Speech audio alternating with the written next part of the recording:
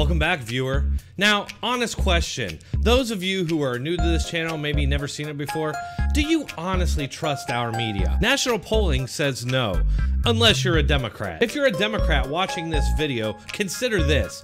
Our media and the government has spent large amounts of time trying to convince the public that January 6th was something on par with 9-11 and even World War II. As insane as it is, Democrats have even compared it to the Civil War. Even though out of 120,000 people that showed up, only a few hundred actually got violent. Most of the charges involved with January 6th are trespassing. But our media has always purposely cherry-picked pictures that portray it in the worst possible light and showing the most chaos. Or how about this picture of gallows, which the media used to endlessly claim that the protesters were going to hang Mike Pence and other politicians. Those pictures are intentionally misleading. Strangely, there are very few pictures out there showing this gallows for what it is, a miniature, non-functional replica, and also not an unusual prop for Democrat protests. But I know, I know, it's different when they do it. He's in, boys! He did it! He said it! Given this and other many misleading claims from the media surrounding January 6th,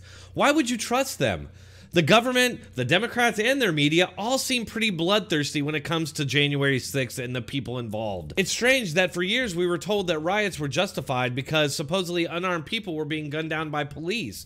But all of that went out the window when Ashli Babbitt, who was unarmed, was shot by a Capitol police officer, who they now call heroic. There was absolutely no reason to shoot Ashli Babbitt, just like none of the other officers that day felt the need to shoot anybody. Why was Ashli Babbitt there in the first place?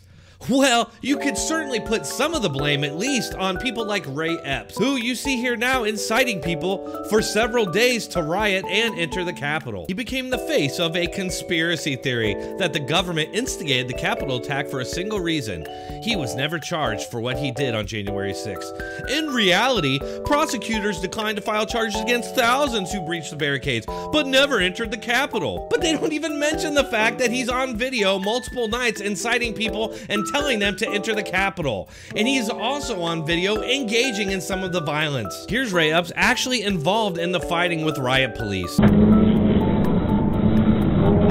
Yet, for some reason, this man was never charged. Grandmas with cancer who just went in and walked around were charged and put in prison, but somehow Ray Epps escapes any kind of culpability? On top of that weirdness, according to Democrats and their media, Ray Epps is also a victim. I find it odd that you all are defending one of the people who assaulted the Capitol. Defending who? Ray Epps.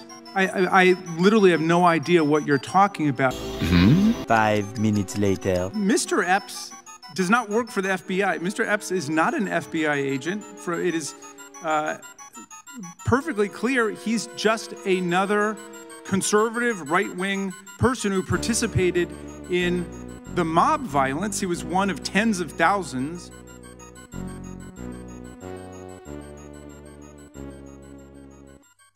Uh, who participated, and he basically says his life has been turned into hell by this conspiracy theory because they've turned on him and tried to blame it on him. Apparently, all that he did is when the FBI put his name out as somebody who was there, he got in touch with them um, in a hurry in order to try to tell exactly what he knew and what he didn't. Boy, here we go. Let's turn to the Ray Epps conspiracy theory. Um, let's watch a clip of Epps. Uh, uh, the uh, of the well, it, there is this clip of, of Epps the night before the insurrection and then during the insurrection. But we're not going to show it to you because that would destroy our cover up. Uh, the night before, he says, Tomorrow we need to go to the Capitol peacefully, peacefully. Uh, and then on January 6th, he says, Take a step back, we're holding ground, we don't want to get hurt. And the crowd is chanting, Fed, Fed, Fed.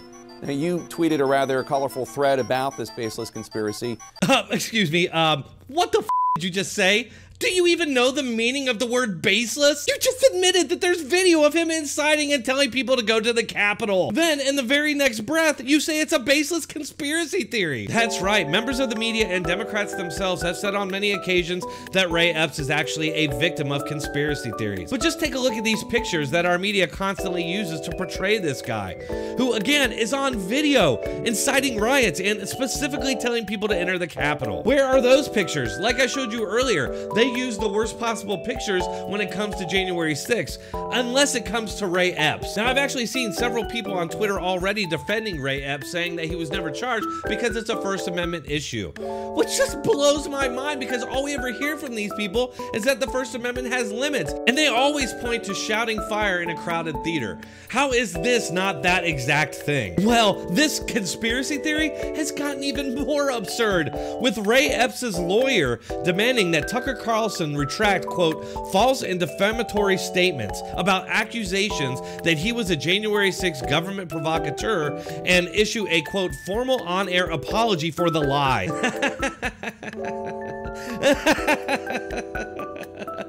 He's on video. He's on video inciting a riot for multiple days. What the f? Folks, all I know is that it makes zero sense that the government, the Democrats, and the media, all who clearly hate January 6th and anybody associated with it, aren't coming down as hard as they can on Ray Epps, and instead have actually turned him into a victim and are defending him. If January 6th was really the worst thing to happen since the Civil War, then why wouldn't Ray Epps be enemy number one?